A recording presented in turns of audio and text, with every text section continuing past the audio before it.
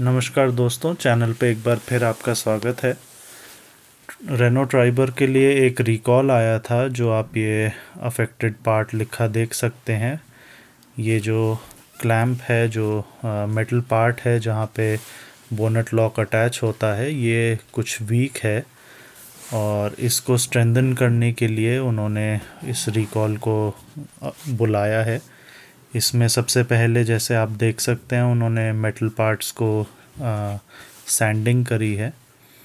फिर एक ये वेल्डिंग ब्लैंकेट लगा करके और मिग वेल्डिंग करी गई है आ, नए पार्ट्स की जो मेटालिक क्लैम्प्स हैं उनकी वेल्डिंग करी गई है।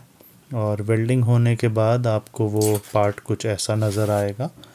जो ये ब्लैक पार्ट हैं, ये नए री पार्ट्स हैं जिनको मिग वेल्डिंग किया गया है।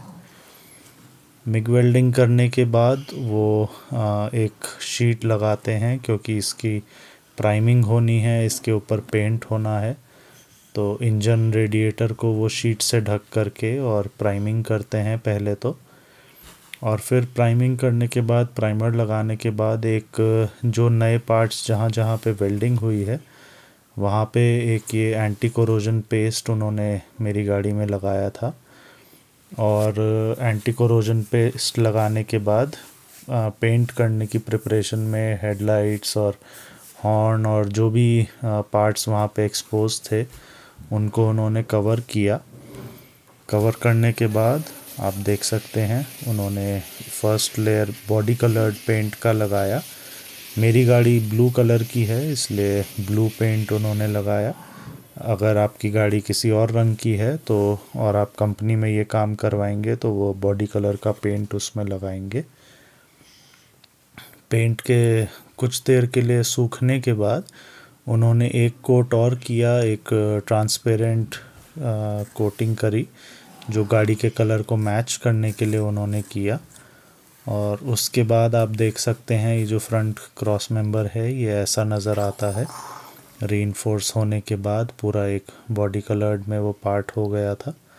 और अब ये बोनट लॉक लगाने के बाद ऐसा दिखता है। और आगे से वापस फ्रंट बम्पर फिट होने के बाद ऐसा गाड़ी नज़र आती है। सो so, अगर आपको भी कुछ डाउट्स थे ड्राइवर के इस रिकॉल से रिलेटेड तो आप उम्मीद है वो आपके दूर हो गए होंगे। एक और रिकॉल आया था जिसमें फ्यूल का जो टैंक है वहाँ पे ये जो आ, स्क्रू है इसके रिलेटेड था। ये वाला स्क्रू उन्होंने टाइट किया इसको चेक किया कोई लीकेज तो नहीं है। So thank you for being on the video